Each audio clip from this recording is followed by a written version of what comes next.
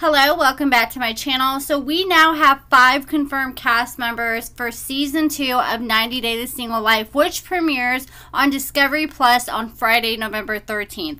We have Stephanie, who's once with Erica. We have Natalie, who's once with Mike. And we have Colt's mom, Debbie, and we're also going to have Syngin. He's been posting on social media with another woman, so I'm curious if we will see her in this season of 90 Day. And we also have Big Ed.